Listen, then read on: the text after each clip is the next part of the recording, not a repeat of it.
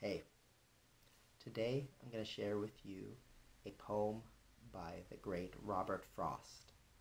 I'm sure it won't be the first and only Robert Frost poem that I read, but it will be the first. And the poem is called The Most of It.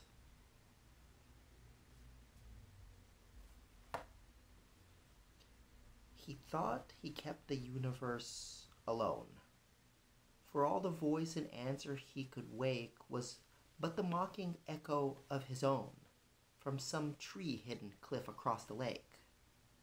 Some morning, from the boulder broken beach, he would cry out on life that what it wants is not its own love back in copy speech, but counter love, original response.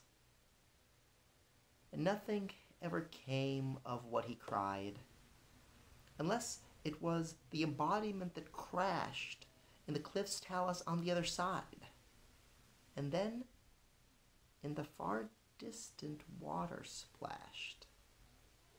But after a time allowed for it to swim, instead of proving human when it neared and someone else additional to him, As a great buck, it powerfully appeared, pushing the crumpled water up ahead, and landed pouring like a waterfall, and stumbled through the rocks with horny tread, and forced the underbrush.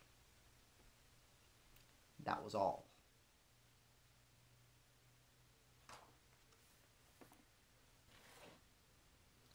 Thanks for listening, dear poetry friends, and I will see you next time.